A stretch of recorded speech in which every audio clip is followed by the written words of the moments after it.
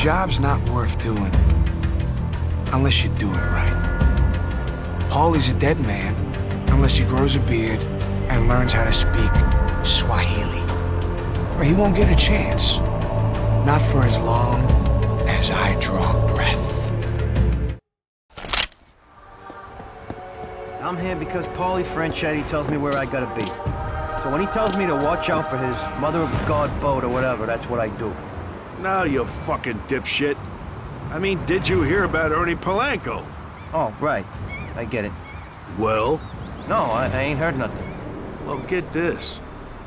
The other day, Paulie sends Polanco to rub out Timmy the Nose, right? Paulie gave Ernie Polanco a hit?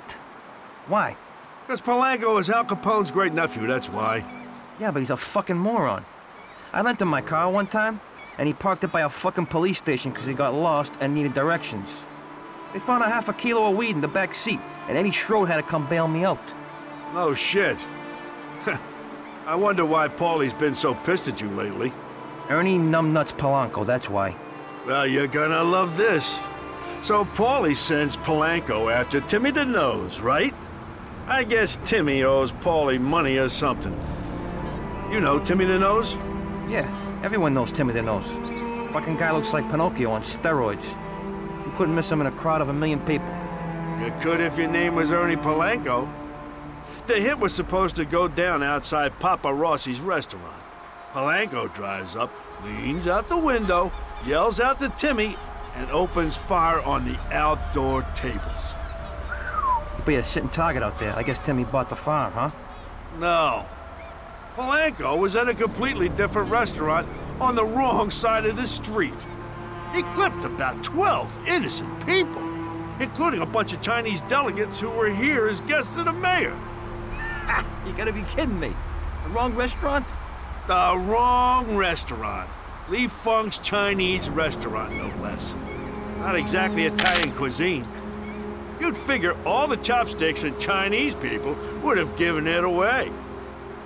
Apparently, all the while this is going down, Timmy the Nose is sitting at a table on the other side of the street outside Papa Rossi's, wondering what all the noise is about. What a dipshit. At least there's one piece of good news, though. Polanco's gonna fry for this one. I wish.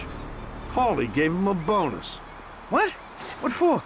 I guess he don't like Chinese food. Says it gives him gas. That sounds like the Paulie we all know and despise. Now, now where are the boys?